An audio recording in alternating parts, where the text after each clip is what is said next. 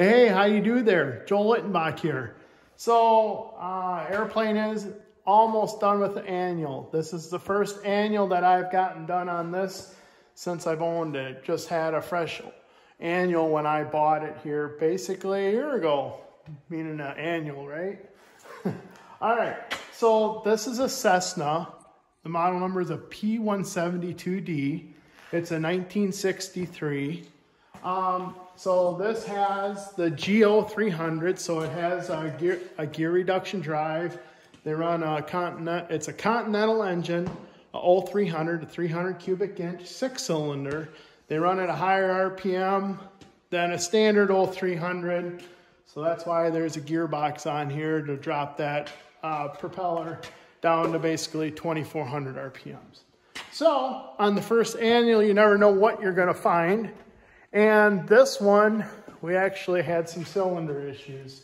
So there was three cylinders that got pulled, uh, these two here and then one on the other side. Um, both of those, uh, the cylinder on the other side had uh, just some light scoring on it. These two had some valve issues. Um, had to replace one valve and then uh, both valve guides were bad. So those got replaced. And then um, while we had those off, uh, the hangar that I'm in doesn't have any heat. So I kind of wanted to do a preheater. So I started researching to see what kind of a preheater system I should put on it. And, and uh, a lot of people had a lot of good things to say about the Tanis.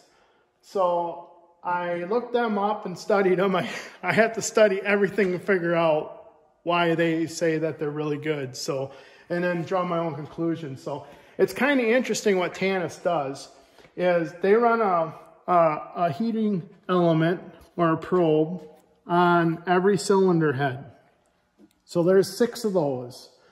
And those just go in, um, they, it's just like a, a, a, quarter inch bolt fastener.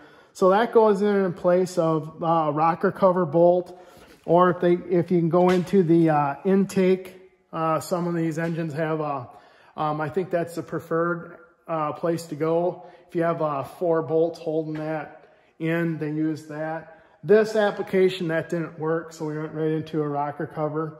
Um, normally, they'll put them right down here on the bottom, but there's absolutely nothing in behind that. That's all hollow on these cylinders.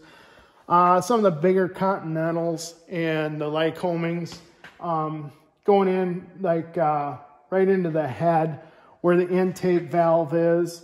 That's all solid aluminum, so that would be the perfect place to go. Uh, this one here, you can see we had to, they supply these uh, aluminum spacers in there.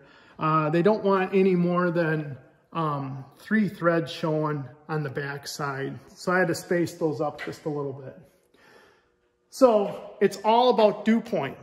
They want if if one part of the it's the, the you want the moisture is going to settle on the coldest part of the engine.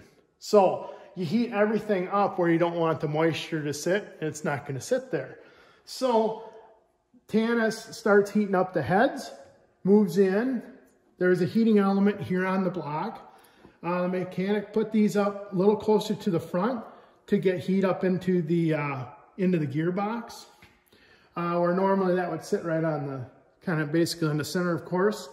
And then there's uh, another heating element down on the other side below the oil level line. So this heats up, this heats up before the oil starts going, and then there's no place for moisture to sit in the head.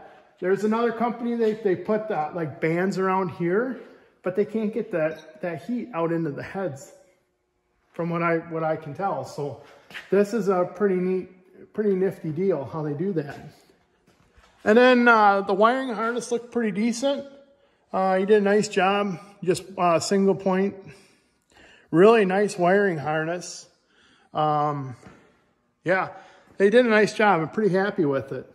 So we'll see. I hope it, I'm really happy with it. I haven't used it yet. anyway, I think it'll work great. Um, lot of, lot of uh, testimonials on that. Um, what else did we find? On the landing gear, let's see. I'll show you the, the type of landing gear. So this is like that leaf spring, leaf spring style landing gear. Okay. Well, there's U-bolts right down into here.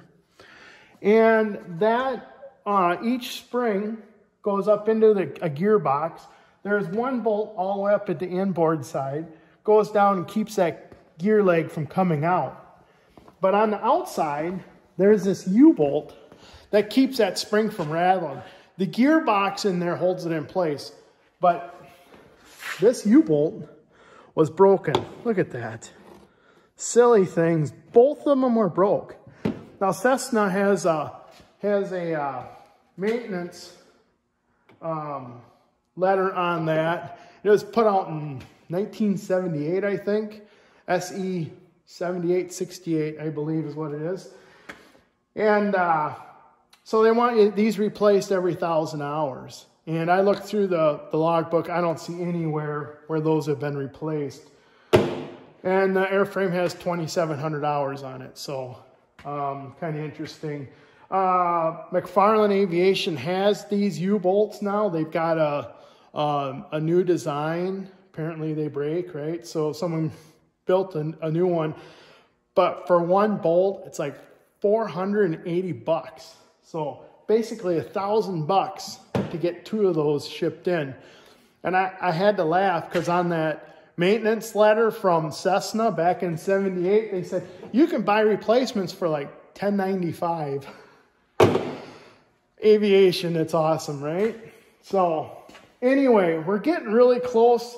Pretty well everything's wrapped up. Uh, we're gonna wait for some little warmer temperatures to to fly this. Ambient temperature outside uh, today is a high of minus 10.